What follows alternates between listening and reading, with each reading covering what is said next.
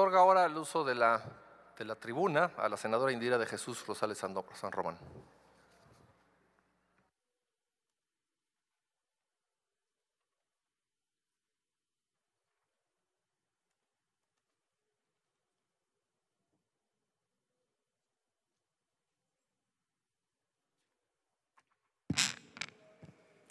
Representar a mi Estado desde esta tribuna durante estos años ha sido el mayor honor que como veracruzana he tenido en mi vida.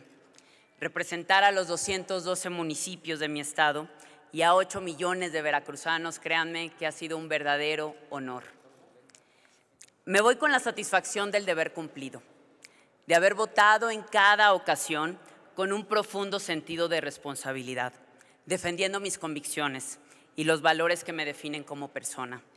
Sin embargo, también me voy con una profunda frustración, porque cada votación que hemos hecho en estos seis años no afectan a nuestros partidos políticos ni a nuestros grupos parlamentarios, afectan a cada mexicano.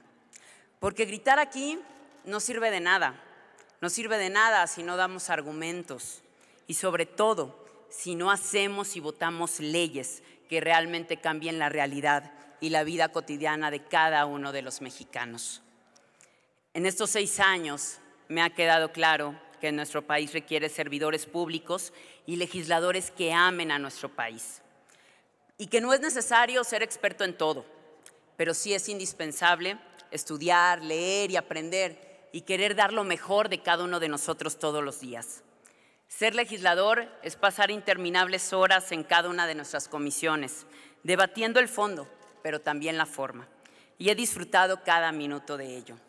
Me siento muy agradecida de haber conformado parte de comisiones tan importantes como lo son justicia, puntos constitucionales, gobernación, salud, y agradezco los grandes debates que dimos en estas comisiones.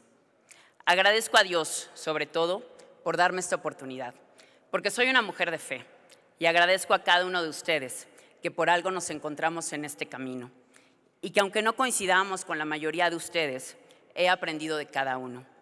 Agradezco sobre todo a mis compañeros de mi grupo parlamentario, porque conocí a personas verdaderamente extraordinarias y que me llevaré toda la vida.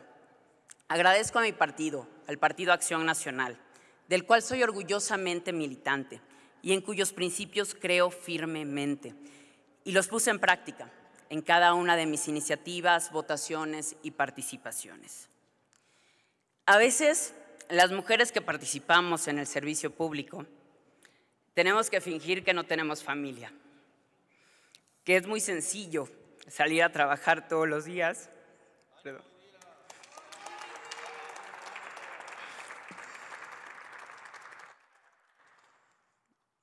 Salir a trabajar como si nada como si nadie nos esperara en nuestras casas. Y yo no podría estar aquí el día de hoy si no fuera por ellos, si no fuera por mis hijos.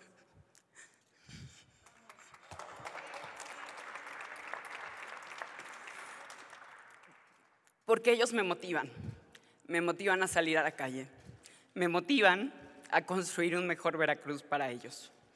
Y creo que esa tiene que ser al final nuestra principal motivación, dejar un mejor país, dejar un mejor estado a cada uno de los niños de este país. Mi estado hoy más que nunca requiere de todos los veracruzanos, que nos unamos y que escojamos un verdadero gobernador. Llevamos ya casi seis años sin gobierno y necesitamos que un veracruzano comprometido y que conozca verdaderamente a nuestro Estado, lo gobierne, que nos defienda, que trabaje por los ciudadanos, no por un partido político ni por una persona, que tenga claro que más de la mitad de los veracruzanos viven en una situación de pobreza, que no tenemos servicios de salud, no solamente en las zonas serranas o rurales, sino incluso en las propias ciudades, que somos uno de los principales centros de inseguridad en todo el país y que por salir a decir lo contrario, eso no lo cambia. Hoy más que nunca necesitamos a un Veracruz unido, necesitamos un Veracruz que sea diferente. Y yo créanme que me voy, como lo dije en un principio, con la satisfacción del deber cumplido, pero al mismo tiempo con la frustración de saber que en cada uno de nosotros estuvo la posibilidad de cambiar a este país, de cambiarlo de fondo, de hacer algo que realmente cambiara la realidad de las personas en la Sierra de Songolica o en Córdoba o en el norte de mi estado, en la Huasteca, en Tantoyuca, en Poza Rica, en Tuxpan, en Orizaba, en Córdoba, en José Azueta, en Tierra Blanca, en Boca del Río. Y no simplemente venir a pelear, venir a gritar. Yo espero que la próxima generación de senadores, de diputados locales, de diputados federales, amen más a su país, amen más a su Estado de lo que aman a cada uno de sus líderes.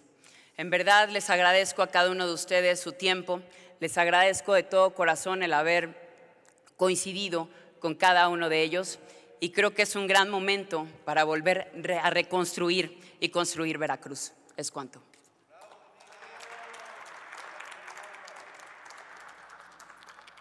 Adelante, senadora Alejandra.